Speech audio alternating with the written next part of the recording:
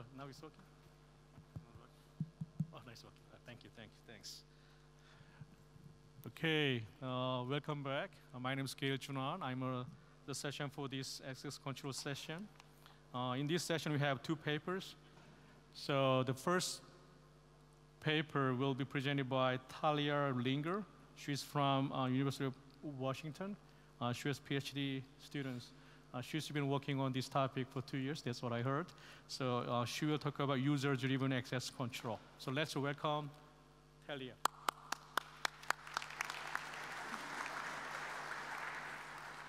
Hi, uh, my name is Talia Ringer, uh, and I'm a student at the University of Washington. Uh, and today I'm going to be talking about Audacious. Uh, so this is work that I did with Dan Grossman and Franzi Roesner. So let's talk about flashlights. Uh, you probably expect your flashlight to do exactly one thing, and that's light up the room. Uh, you probably don't expect your flashlight to tag your location without telling you. Uh, and you almost definitely don't expect your flashlight to then like send that off to advertising networks. Uh, well, then you're in bad luck if you downloaded Brightest Flashlight free. Uh, this is one of the top free flashlight applications in Android. And there was recently an FTC suit in the US that ruled against it uh, for doing precisely this. Uh, so it was tagging users' locations, and it was sending them off to advertisers without telling them. And this really doesn't seem to be a one-off with, uh, with flashlight applications. So, you know, maybe users should just stop installing them. Uh, after all, Android finally has its own native flashlight. Uh, so that's it, and you can all go home now. Okay, but in reality, um, you know, the root cause of this isn't that users need to just stop being so naive, um, or that Android should have a native application for every single functionality. Uh, the root cause is in the access control models uh, that these operating systems typically use. Uh, so op mobile operating systems typically rely on some combination of runtime and install time prompts. Uh, so runtime prompts, like the one you see on the left, um, you'll see in iOS and in uh, newer versions of Android for some permissions. And these will pop up the first time that you try to access a permission, um, and it will ask you if this application should be able to access this. And install time prompts, like the one you see on the right, uh, you'll see for older versions of Android. Um, and this will show up when you first install the application, and it will ask you then. Uh, but both of these are problematic, uh, so users find these really confusing. Uh, with the install time prompt in particular, uh, users tend not to even read these. But even if you have this runtime prompt, uh, which is a significant improvement, uh, this still really isn't sufficiently granular. Um, what happens here is you're granting it permission to access this resource uh, the first time it, it, tries to access it. And then if you want to revoke it, uh, you have to go in and you have to do this manually. Uh, so you could imagine if you had like a camera application, you would probably want it to only take pictures uh, when you actually press this camera button. Uh, but in this model, um, it could take pictures pretty much whenever it wants until you go in and you revoke that access. So user-driven access control uh, is an existing approach that addresses these problems. Uh, and this is really exactly what it sounds like. Uh, so it's access control, but it takes the mechanism for access control and it moves it where the user actually expects it. Uh, so in other words, all the time when you're interacting with these applications, uh, you're implicitly communicating that you expect them to access certain resources. Uh, so when you press the center location button, you probably expect the application to access your location. And if you press the microphone button, uh, then you expect it to listen to your audio. Uh, but in the um, models that you see in iOS and in Android, uh, there's no guarantee this is actually true. so user-driven access control takes these elements and it turns them into designated access control gadgets. Um, so basically what they've done is they've gone in and they've modified the operating system uh, so that the operating system actually owns these UI elements. Um, and the, um, they're the only way to actually access these resources. Uh, so the application will delegate a part of its screen uh, to the operating system, um, and that's how it will actually access this resource. So if the application goes and they make like a fake center location button or something like this, uh, this doesn't actually matter because this can't actually access the resource. Only these operating system owned elements can do that. Um, so this is a great idea, and this is something that we'd really love to get out to users. Um, but there's one problem. Uh, so the existing user-driven access control approach uh, relies on modifying the operating system, and this makes it hard to actually get it out. Uh, so here's a graph of the distribution of uh, Android versions on, um, on uh, devices that have recently checked into the Google Play Store. And one thing you'll notice um, is that the latest Android that's listed here is actually Android 6 at only 18.7%. Um, Android 6 had actually been out for over a year when I pulled this graph. Uh, the latest Android was Android 7, which had been released when I pulled this graph, um, but actually hadn't like reached a significant enough uh, percentage of users to even make it on here. Uh, so we enforce user-driven access control without modifying the operating system because this is a great idea and we'd really like to get this out. So the way we do, um, so we enforce the same two guarantees as the original user-driven access control approach, um, which is that uh, the application accesses the right resource at the right time. Um, we also take it one step further. Um, the original approach uh, placed no guarantees on how the resource was used or where the resource flowed. Um, after it was accessed, but we can actually say something about that too. Uh, so if you have a simple camera application, uh, one that you expect just to take photos and save to your device, uh, no advanced functionality, um, then you expect it to actually take a picture, uh, not listen to your audio. Uh, you expect it to take this picture when you press the camera button, uh, not when your screen is locked. Um, and you expect it to save it to your device, not send it over the internet to a total stranger. Uh, so this kind of evil application is exactly what we're trying to defend against. So the way we do this is by combining a secure library with some program analyses.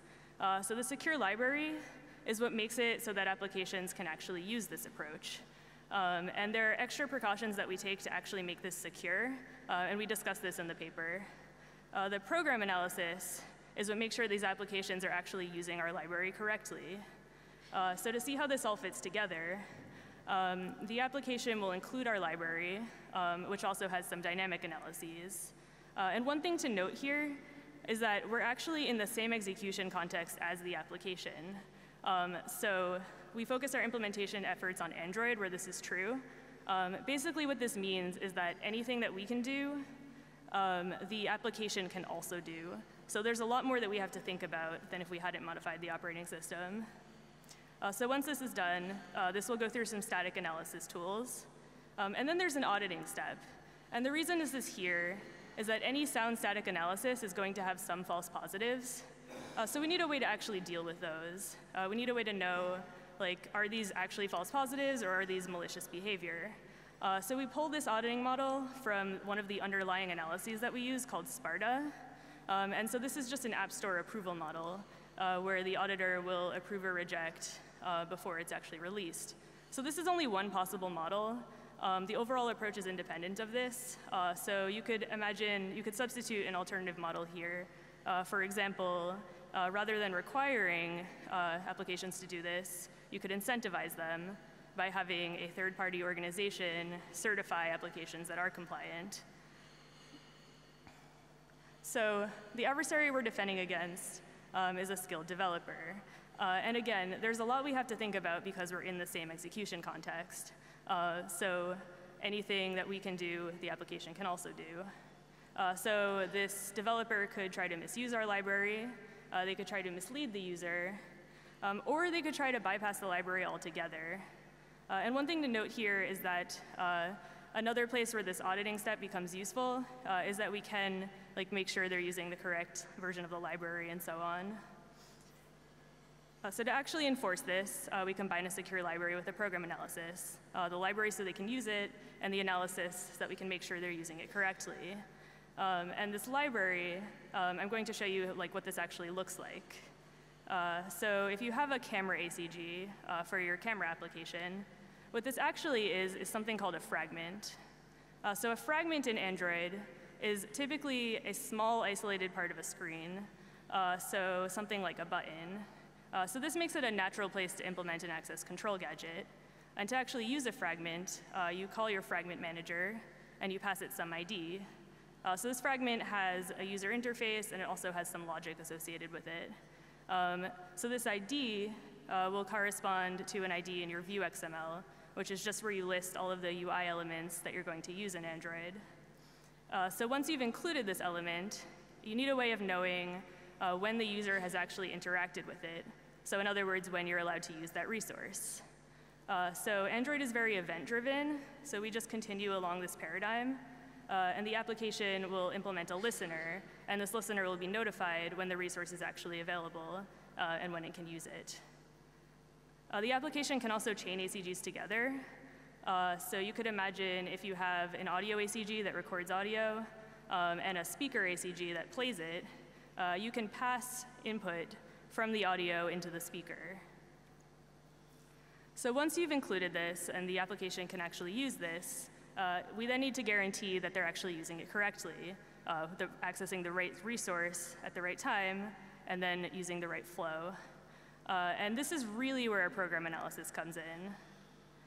So for the right resource, what we really care about is that there's deliberate user interaction with a UI that looks like it's going to access that resource.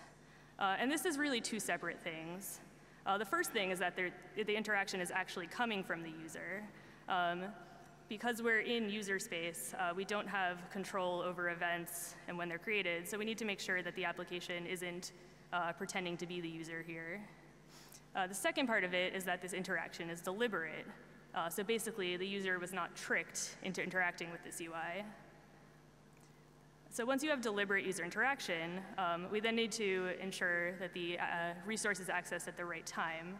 Uh, so in other words, uh, when the user has actually interacted with this ACG. And then finally, uh, we want to check the right flow, uh, how the resource is actually used after it's accessed. So when you put all of these together, you get our three guarantees. Um, and we enforce this in three phases. So the first of these is making sure that events actually come from the user. Uh, so if we have a simple camera application, um, then we want it to you know, take a picture when we press this button. Uh, but we need to make sure that it's not the application pressing this button. Uh, and we also need to make sure that the application isn't, say, intercepting a valid button press to uh, you know, this flash button and moving it where the camera button is. Um, so both of these are event forgery attacks, and these are things we have to think about in user space. Uh, so to enforce this, what we really have to do is make sure that the application does not interfere at all with the flow of events uh, from the user to the UI that the, the user sees. Uh, and so we enforce this statically with an event analysis. The reason we do this statically uh, is that if we were to do it dynamically, um, so this needs to happen for every single event that flows uh, th to this ACG UI.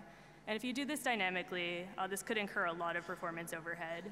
Uh, so we do this statically.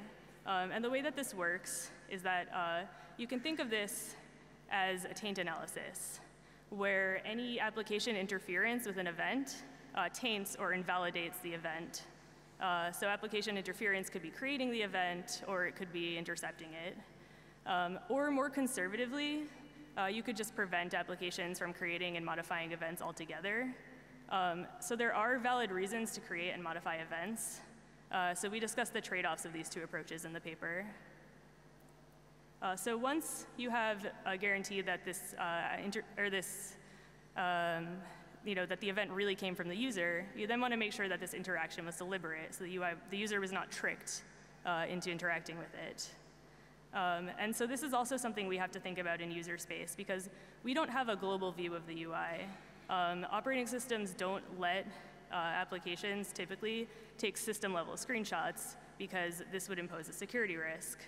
Uh, so we need to make sure, um, so we have a lot more that we have to think about uh, than if we were to modify the operating system for this. Uh, so for our camera application, we want this to actually be a camera button um, and not something else. And this can happen in several ways. Uh, so they could do this from within the application uh, by covering this camera button or by changing its appearance. Or they could do this outside of the application. Uh, for example, using a system level pop-up uh, that covers the camera button, uh, but then delegates events downward. Um, and some operating systems let applications create these system level pop-ups. Uh, so Android has something like this. It's called a toast because it pops up. And you, so we need to actually think about this. We need to make sure that this isn't happening too. Uh, and one other way they could do this is by tricking the check altogether. Uh, so you could imagine you're about to press this like fake camera button, and then as soon as you're about to press it, the application swaps it out for a real camera button. Uh, so this is called a bait and switch attack. And if we implement our check naively, uh, then what we're going to get is the real camera button, because that's what they pressed. But the user didn't actually have enough time to perceive this camera button. Uh, so we need to defend against this kind of attack as well. So all of these are clickjacking attacks. Uh, and the root cause of clickjacking from a paper called Clickjacking Attacks and Defenses is that the UI is presented out of context. So we need to make sure that the UI is in context, and we have our own check for this. Uh, and this check happens dynamically. The reason that we do this dynamically is that we need information both about what the UI looked like and about when it looks that way uh, relative to any possible user event. Um, so any, existing approaches that do this actually rely on like a manual bitmap comparison. So they'll have someone sitting there and comparing these bitmaps to see if this makes sense. Uh, so we instead have like an automatic bitmap comparison, um, and this happens per ACG. So each ACG can define what it means uh, for this UI to be acceptable. Uh, so this could be exact equality, like the camera button should always look exactly this way. Um, or this could be, you could say that the uh, application should be able to scale the camera button in certain ways and so on. Um, we don't actually handle issues of human perception here, uh, so this is out of scope of both the original work and our work. Uh, but we do expose this mechanism, which allows ACGs to define what is acceptable. And then we can check this dynamically. And we have extra logic to deal with these other attacks that we have to think about outside of the UI and uh, tricking the check. Uh, so if you're interested in those, then you should read the paper. So finally, we when we have deliberate user interaction, we then need to make sure the application is actually accessing and using resources correctly.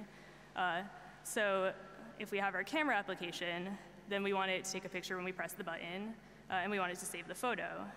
So taking pictures with our screen is locked would be an illegal access, and then sending it off to evil.com would be a legal flow. So both of these are illegal resource flows. And you can think of resources as information. So then resource flow just becomes an information flow problem. Uh, and so we have a static information flow that checks this. Uh, so in particular, we build on top of Sparta, uh, which is a static information flow tool for Android. Um, and we expose this notion of an ACG in Sparta. Um, and we can then check that resources actually come from this ACG. Um, and then we can also check something about the flow of those resources from then on. Uh, so Sparta, uh, in particular, applications will implement something called a flow policy file, uh, which says which flows are acceptable. And then Sparta can guarantee that those are actually held. Um, now, it's the auditor who actually makes sure that that flow policy is like a sane flow policy, but Sparta can guarantee that it actually holds for the application. Uh, so when you put this all together, uh, we get our three guarantees, the right resource, right time, and right flow. Uh, so we built this into five test applications. Um, so these are open source applications. We needed to modify them to actually build our library into them. Um, we picked them from F-Droid, and we selected them for uh, varying permission uses and varying complexity. Uh, and there's a lot that we learned from this. Um, so I'm only going to talk about two things. Uh, but if you're interested, then you can find a lot more in the paper. So the first thing we found is that ACGs encapsulate existing behavior. Uh, so we have this application called Speed of Sound. And what Speed of Sound does is it adjusts the volume of your phone depending on how fast you're driving. Uh, so you can actually hear your music when you're driving fast. Uh, so Speed of Sound has this checkbox that says Enable Speed of Sound. And when you check it, it actually accesses your location. And when you uncheck it, it doesn't access your location. Uh, so this is great. This really acts like an ACG already. Uh, and we actually found that three of five applications uh, had UI elements that acted like ACGs. And in those applications, integrating our library actually decreased code size uh, because we're encapsulating two things. We're encapsulating both this user interaction and this resource accessing behavior. Uh, surprisingly, even in the other two applications that did not have elements like this, uh, we found that integrating our library only slightly increased code size. Um, and the reason this, this increase was so minor is that even though we had to add new user interaction, we were still encapsulating this resource accessing behavior. Another thing we learned is that flexibility is desirable. Uh, so with speed of sound, um, this checkbox Uh, this makes sense to implement as an ACG. You can check this before you drive, and then you listen to your music, and then when you're done, you uncheck it. Uh, so this is fine. Uh, but speed of sound has another uh, functionality here, and this is a song map.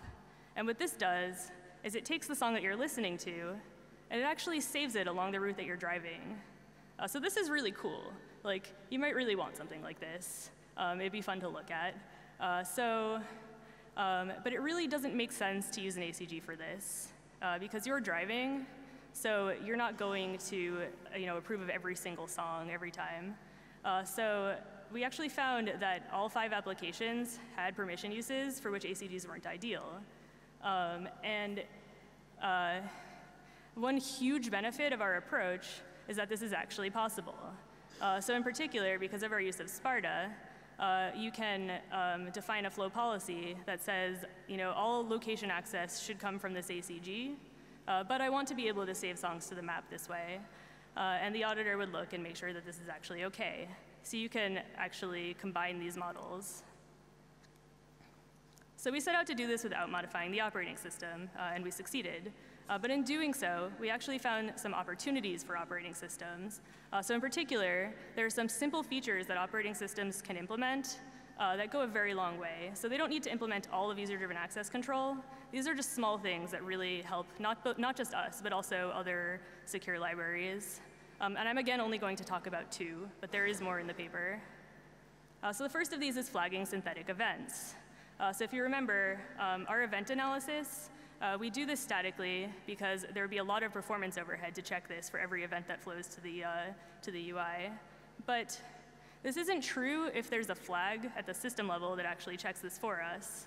Um, so we actually found that Android had something that looked like it was supposed to do this, uh, called flag tainted, uh, but it was uh, like private, so you couldn't access it. Um, it was undocumented, and it was never set in any of our attacks. Uh, so we think that maybe they're trying to do this, uh, but right now it doesn't work. Um, second of these is flagging external UI overlays. Uh, so for these system level pop-up attacks, uh, because the operating system isn't going to let us take system level screenshots, we need a way of knowing when there's something on top of our application. So Android actually does have something for this. It's called flag window is obscured.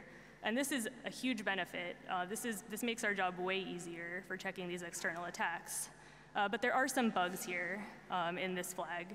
Uh, so in particular, if your view is only partially obscured, then right now this flag is never set, even though the documentation says that it should be. Uh, so we've reported this bug to Android, and they are working on fixing this.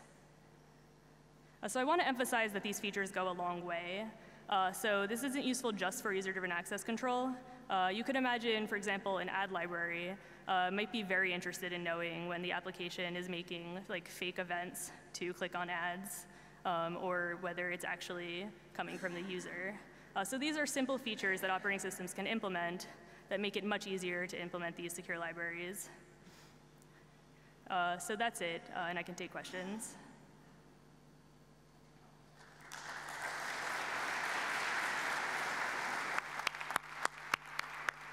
All right, any questions? Go ahead. Paul Van Oorschot, Carleton University. Uh, great talk. Um, it looks like you're solving or, or trying to solve uh, part of the general long-standing um, trusted path problem. So I'm just wondering if you could say a few words about the relationship between your work and, and the trusted path problem. I'm sorry, what is the trusted path problem? Well, basically, the, you know, the user, you, you want user input to go directly to the operating system and, and, and operating system um, signals coming directly back to the user uh, without um, being fooled in between. Okay. Some kind um, of information flow analysis, information flow. Well, I mean, just in, in